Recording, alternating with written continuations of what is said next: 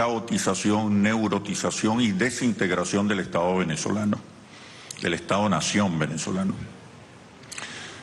También un voto de identidad, de identidad social, de conciencia política, que es muy, muy importante destacar y forma parte del proceso de madurez, de maduración social y política que ha vivido la sociedad venezolana en los últimos 20 años, fundamentalmente en los sectores populares. Hubo un voto de identidad. La oposición puso a los pobres a decidir entre la muerte y la constituyente. Y la elección es muy fácil.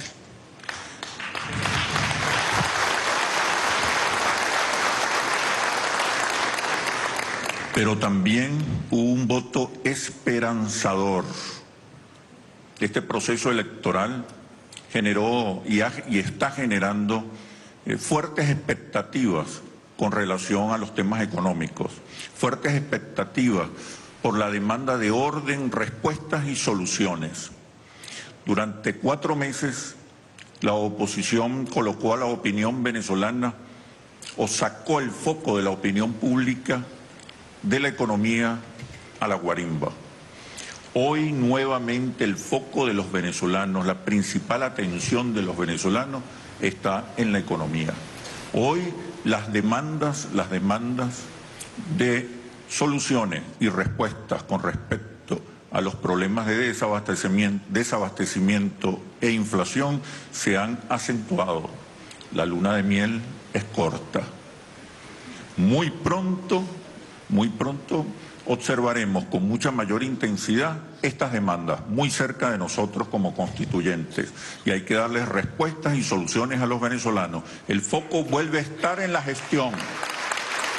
El foco vuelve a estar en la economía. El foco vuelve a estar en la esperanza. Los constituyentes tenemos no solamente el deber, la obligación, la urgencia de proponer, contribuir con la solución de estos problemas. Y es lo que el pueblo venezolano está esperando. Ocho de cada diez venezolanos le preocupa más la economía que la política. Esto de ninguna manera puede ser visto como un proceso de desideologización o despolitización o desmovilización. Este es un pueblo que ha aprendido a ejercer no solamente su visibilidad, sino su protagonismo en la conducción de los temas fundamentales de la nación. Los sectores populares tienen hoy un protagonismo fundamental. Les preocupa la economía, pero no dejan de entenderla como un proceso de decisiones políticas. Para eso incluso votan, para decidir, esperan calmados, pacientes, con sentido de la oportunidad, esperan su momento y votan y deciden. Esto es un rasgo fundamental de este proceso político eh, venezolano de los últimos 20 años. Sobre el tema económico hay consensos, consensos fundamentales. Estamos hablando entre 70 y 80% de los venezolanos, la mayoría de los venezolanos, que respaldan una economía mixta, con diversas formas de propiedad, la propiedad del Estado, la propiedad privada o la empresa privada, la empresa del Estado, las empresas sociales y comunales. La mayoría respalda un modelo de economía mixta. La mayoría respalda el papel conductor del Estado. La mayoría cree que es el Estado quien debe establecer las reglas económicas. La mayoría cree que es el Estado quien debe conducir la economía. Pero la crisis económica también ha hecho que los venezolanos vuelvan su mirada al sector privado como un acto fundamental en la solución de los problemas económicos. Hay una revalorización del sector privado que tenemos que asumir los empresarios, asumir con mucha responsabilidad. No tengo dudas que ha emergido en los últimos 20 años, ha emergido un empresariado más consciente, un empresariado humanista, comprometido, con, las banderas de la justicia social, de la redistribución del ingreso, de la igualdad. Creo que en los últimos 20 años como resultado de este intenso, vigoroso proceso político, así como ha surgido un pueblo más consciente, más politizado, dueño de su destino, también ha surgido un empresariado humanista, responsable y comprometido socialmente.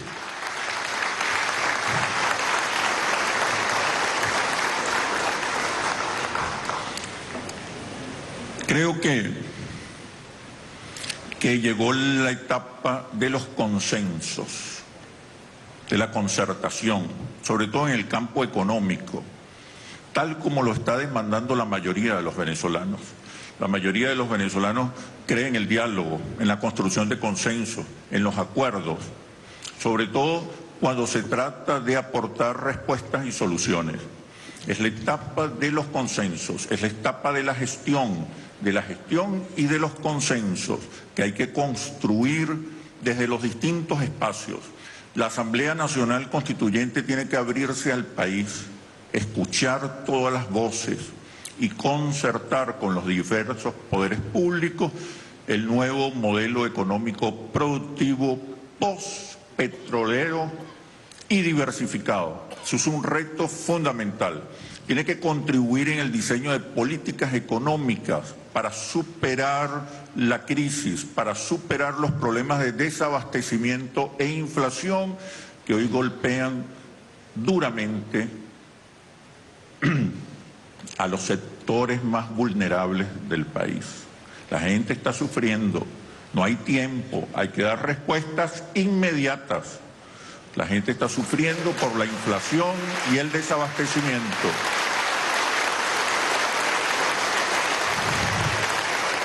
Es una extraordinaria oportunidad, es una extraordinaria oportunidad que nos toca, en la que nos toca participar.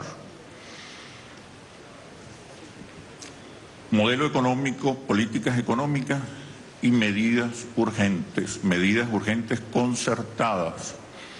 El rol del Estado es indiscutible.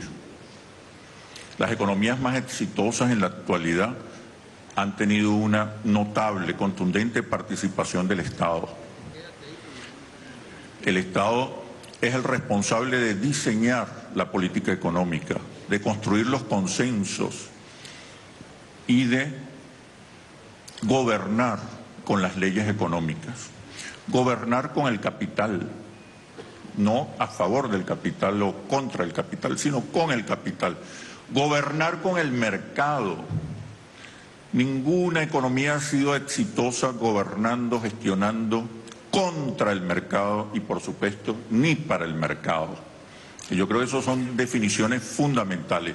Y sobre todo definir muy claramente el rol de la empresa privada, que es un rol fundamental para el desarrollo de las fuerzas productivas, para el impulso de las capacidades productivas, para el desarrollo de una economía más sana, pujante, que convierta a Venezuela en un país potencia.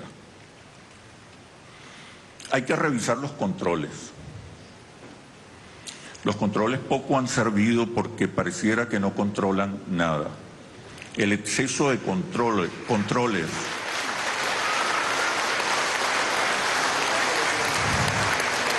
El control cambiario no ha servido para controlar el precio del dólar, el control del precio no ha servido para controlar la inflación. Pero es que cuando los excesivos controles se presentan y se prolongan en el tiempo, generan distorsiones, generan corrupción, ineficiencia e improductividad. Los, los controles en su momento pudieron ser necesarios y acertados, pero prolongar los controles más allá de un periodo prudencial puede ser un boomerang y puede generar, mm, puede ser peor el remedio que la enfermedad. Hay que trabajar con las leyes económicas, no se puede ir en contra de las leyes económicas, de las leyes del mercado, hay que gobernar. Varias veces escuché al comandante Chávez diciendo que había que utilizar las herramientas del capital, del capitalismo, para construir una sociedad socialista o una sociedad con mayor nivel de bienestar, con la mayor suma de felicidad posible. Yo estoy convencido también que un proceso de cambio, de transición al socialismo o a una sociedad más justa e igualitaria necesita de la participación del emprendimiento, de la creatividad, de la producción, de las fuerzas productivas. Y ahí está el papel del Estado para regular, conducir, vigilar que no se cometan los excesos que provoca el afán de lucro desmedido y la ambición del ser humano. ahí está un rol fundamental del Estado. He escuchado varias veces durante las últimas sesiones de la Asamblea Nacional Constituyente que estamos haciendo historia. Yo prefiero decir, lo cual es muy legítimo, estamos haciendo historia realmente, pero no queremos que nos lean que nos lean en los libros de historia. Queremos que los venezolanos sientan el presente, queremos que los venezolanos sientan nuestra presencia junto a ellos para resolver los problemas. Porque en definitiva lo que estamos haciendo también es escribir el futuro. Bienvenidos al futuro, amigos, amigas. Nuevos retos y tareas se plantea este Consejo Nacional de Economía enfocado a enfrentar la guerra económica que se tiene durante los últimos años contra nuestro país. Primer vicepresidente de la Asamblea Nacional Constituyente y también presidente de la Comisión de Economía de esta Asamblea, profesor Aristóbulo Isturi.